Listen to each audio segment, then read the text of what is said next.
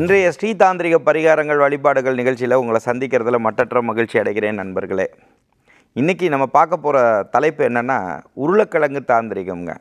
என்னடா அது உருளைக்கிழங்கு தாந்திரிகம் அப்படின்னு சொல்கிறேன்னு நினச்சிக்காதீங்க.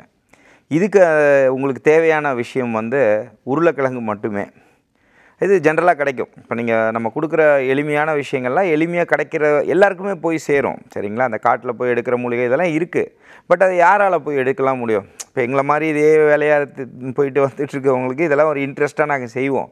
அது வேறு. பட் உங்களுக்குலாம் எளிமையாக உங்கள் ஆற்றுலேயே இருக்கக்கூடிய சில விஷயங்கள்லாம் எடுத்துட்டு நீங்கள் பண்ணி பண்ணி பண்ணி பண்ணி பண்ணும்போது டக் டக் டக் டக்குன்னு சில விஷயங்கள் வந்துடும் இது எதுக்காக நீங்கள் பயன்படுத்துகிறீங்க அப்படின்னா சில பேருக்கு என்ன ஆகும்னா எந்த ஒரு வேலை செஞ்சாலுமே அது ஃபுல்ஃபில்லே ஆகாது ஃபுல்ஃபில்லே ஆகாது தடையாகவே இருந்துகிட்டே இருக்குங்க.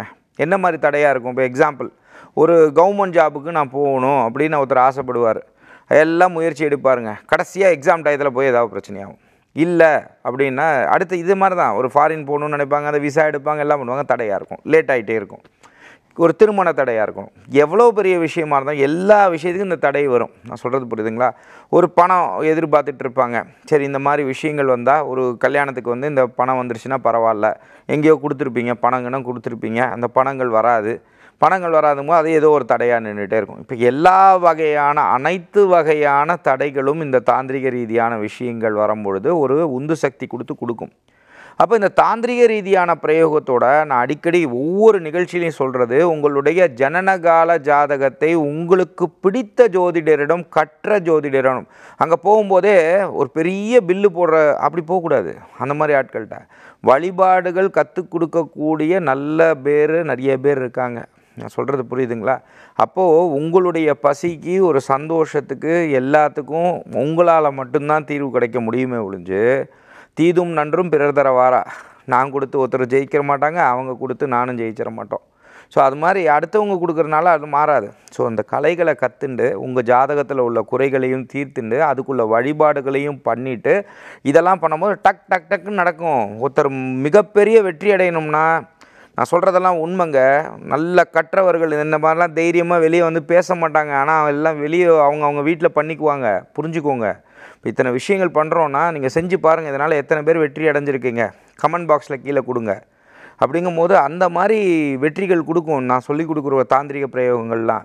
அதனால் இதெல்லாம் செஞ்சு வெற்றி அடைங்க. நல்லா இருங்க எல்லாரும். சுபிட்சமாக இருங்க. லோக்கா சமஸ்தா சுகினோ பவந்து. அதனால் அதெல்லாம் பண்ணுங்கள் இப்போ நீங்கள் செஞ்சுக்க வேண்டியது இந்த உருளைக்கிழங்கு இது இதை எடுத்து வச்சுக்கோங்க. இது செய்ய வேண்டியது செவ்வாய்க்கிழமை. இது செய்ய வேண்டியது ஒம்பது வாரம் செய்யணுங்க. ஒம்பது வாரம் செவ்வாய்க்கிழமையில் எடுத்து வச்சுக்கோங்க. மதியம் ஒன்னே கால் டு ரெண்டு மணி பண்ணணும். இது ஆணாக இருந்தாலும் பெண்ணாக இருந்தாலும் பண்ணணும். இது ஒம்பது வாரம் செய்யும் பொழுது ஒருவேளை அந்த பெண்மணி செய்யும் பொழுது அந்த மாத விஷயங்கள் வரும் பொழுது அந்த வாரம் பிரேக் பண்ணிக்கலாம். பண்ணிவிட்டு அடுத்த வார செவ்வாய்க்கிழமை பண்ணணும். ஒன்னே கால் டு இதில் பண்ணும்பொழுது இதில் நீங்கள் செய்ய வேண்டியது அந்த உருளைக்கிழங்கை எடுத்து உங்களுடைய குக்கரில் வச்சு அதில் நல்லா உப்பு தண்ணியை போட்டு வேக வச்சுருங்க. உப்பு தண்ணியை போட்டு வேக வச்சுட்டு இதை எடுத்துகிட்டு நீங்கள் என்ன பண்ணிடுங்க அந்த உருளைக்கிழங்கு எடுத்து அப்படியே வச்சுருங்க.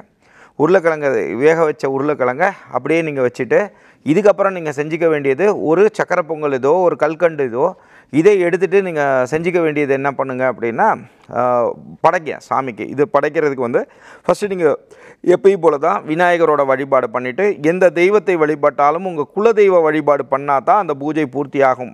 அந்த வகையில் உங்கள் குலதெய்வத்தையும் கும்பிட்டுட்டு அதுக்கப்புறம் ஜாதகப்படி உள்ள இஷ்ட தெய்வ வழிபாடையும் பண்ணிவிட்டு அதுக்கப்புறமா நீங்கள் செஞ்சுக்க வேண்டியது மனசார நினச்சிக்க வேண்டியது நீங்கள் சைவ வழிபாட்டில் இருக்கிறவங்களாக இருந்தால் திருச்செந்தூர் முருகனை மனசுக்குள் நினச்சிக்கணும். திருச்செந்தூர் முருகனை நினச்சிட்டு நீங்கள் செய்ய வேண்டிய மந்திரம் என்ன? மூல மந்திரம். நான் சொல்கிறதுக்கு முன்னாடி நீங்களே சொல்லிடுவீங்க நம்மளுடைய நேயர்கள் எல்லாம். ஓம் சௌம் சரவண பவ ஸ்ரீம் ஹ்ரீம் க்ளீம் க்ளௌம் சௌம் நமக என்பதே முருகனோட மூல மந்திரம். இந்த முருகனோட மூல மந்திரத்தை மனசார நினச்சிக்க வேண்டியது. நினச்சிண்டு இல்லை நான் வைணவ வழிபாட்டில் இருக்கேங்க. ஹரியும் ஹரனும் ஒன்று தான் ஆனால் சில பேர் சொன்னால் கேட்க மாட்டாங்க. நான் சொல்கிறது புரியுதுங்களா? பட் ஒருவேளை நான் வைணவ வழிபாட்டில் தாங்க இருக்கேன். நான் அப்படி தாங்க கும்பிடுவேன் அப்படின்னு சில பேர் இருப்பாங்க. அப்படி இருக்கிறவங்களா இருந்தீங்க? அப்படின்னு சொன்னால் ஆஞ்சநேயரை மனசார நினச்சிக்க வேண்டியது. அப்போ நீங்கள் செஞ்சிக்க வேண்டியது ஆஞ்சநேயரோட மந்திரங்கள் சொல்லலாம். இல்லை ஆஞ்சநேயரோட மந்திரங்கள் தெரியாது அப்படின்னு சொன்னால் ஸ்ரீராம ஜெயம் ஸ்ரீராம ஜெயம் ஸ்ரீராம ஜெயம்னு நூற்றி எட்டு தடவை சொல்லலாம். இதை மனசார நினச்சிட்டு இப்போ நீங்கள் செய்ய வேண்டியது அந்த நெய்வேத்தியத்தை படைக்கணும். இந்த நெய்வேத்தியத்தை படைச்சிட்டு இப்போ நீங்கள் என்ன செய்கிறீங்க இந்த உருளைக்கிழங்கு இருக்கு இல்லைங்களா? இந்த உருளைக்கிழங்கை எடுத்து நல்ல தலையை வந்து இருபத்தேழு தடவை சுற்றிட்டு அதுக்கப்புறம் வெளியே எங்கேயாவது போய் எங்கேயும் தூரமாக இருக்கிற இடத்துல போயிட்டு நல்லா மேஷ் பண்ணுங்கள் மேஷ் பண்ணி அதை மேஷ் பண்ணுன்னா நல்லா பிணைஞ்சிட்டு அதை நல்லா தூக்கி போட்டுட்டு நீங்கள் பாட்டுக்கு வந்துடுங்க வீட்டுக்குள்ளே வரும்பொழுது நல்லா கை காலை கழுவிட்டு இந்த மாதிரி பண்ணுங்கள் இந்த மாதிரி நீங்கள் தொடர்ந்து நீங்கள் செஞ்சுட்டே இந்த ஒம்பது வாரம் செய்கிறதுக்குள்ளேயே வந்து என்ன ஆயிரும் அப்படின்னா எப்பேற்பட்ட தடைகளாக இருந்த அந்த விஷயத்துக்கு இதுக்காக நீங்கள் என்ன புரிஞ்சுக்கணும் அப்படின்னா நீங்கள் ஒரு விஷயம் நினச்சின்னு இருப்பீங்க. இந்த பக்தியாக இருக்கிறவங்க சில பேர் ரொம்ப வருத்தப்பட்டு சில பேர் கால் பண்ணுறீங்க நான் சாமி கும்பிட்றேங்க எனக்கு ஒன்றுமே நடக்கலைங்க அப்படின்னு சொல்கிறீங்க இதே மாதிரி நல்ல ஏன்ட்ட கேட்குறீங்கன்னா நான் என்ன சொல்லுவேன்? இன்னும் கொஞ்சம் சாமி கும்பிடுங்கன்னு சொல்லிடுவேன் நல்லா பில்லு போடுற ஆள்கிட்ட போய் மாட்டிக்கிட்டீங்கன்னு வச்சுக்கோங்க. அவ்வளோதான் பெரிய பில்லு போட்டுருவாங்க அப்புறம். அதனால் சுவாமி கும்பிடுறதுங்கிறது வந்து நம்மளுடைய பெருமை இல்லை அன்பர்களே. அது நம்மளுடைய கடமை. சரியா? எப்படி நம்ம பல் தேய்க்கிறோமோ எப்படி தூங்குகிறோமோ இதெல்லாம் நம்மளுடைய அன்றாட வாழ்வியல் தத்துவத்தில் வச்சுக்கணும். வச்சுக்கிறது வந்து அதை பெருமையாக பேசக்கூடாது. ஸோ அப்படி இருக்கிற காரணத்தினால இந்த வழிபாடுகள் செய்ய செய்ய சுவாமி நம்ம சொல்கிறதெல்லாம் செஞ்சால் அது சாமி கிடையாது. சரிங்களா? நம்ம ஒரு விஷயம் நடந்ததுன்னா கெட்டது நடக்குதுன்னா அதை தடுத்து நிறுத்துறது தான் தெய்வம். சரிங்களா? அப்படிங்கும்போது நம்ம நினச்சதெல்லாம் கொடுக்குறதுக்கு அதெல்லாம் சுவாமி என்ன நமக்கு வச்சு வீட்டுக்கு வச்ச சர்வெண்ட்டா சொல்கிறதெல்லாம் கேட்குறதுக்கு. அப்படிலாம் நினச்சி சுவாமி கும்பிடவே கும்பிடாதீங்க. சரிங்களா? வேண்டுதல் வேண்டாமை இலானடி சேர்ந்தாருக்கு யாண்டும் இடும்பையில் நீங்கள் எதுவுமே கேட்காம சரணாகதி அடைஞ்சால் அந்த சுவாமிக்கு தெரியுங்க. இந்த சுவாமி உங்களை காப்பாற்றுங்க. சரிங்களா? அதனால் இது மாதிரி விஷயங்கள் நீங்கள் பண்ணும் பொழுது சுவாமிகிட்ட சரணாகதி அடைஞ்சிட்டு எனக்கு இருக்கக்கூடிய எல்லா தடைகளும் சரியாகணும்னா உங்கள் வாழ்க்கை மாறுறதை உணருங்க. நான் என்ன சொல்கிறேன் அண்டத்தில் இருக்கும் ஈசனை பிண்டத்தில் உணர பழகுங்க. உணர உணர உணர உணர உங்கள் வாழ்க்கை மாறும்.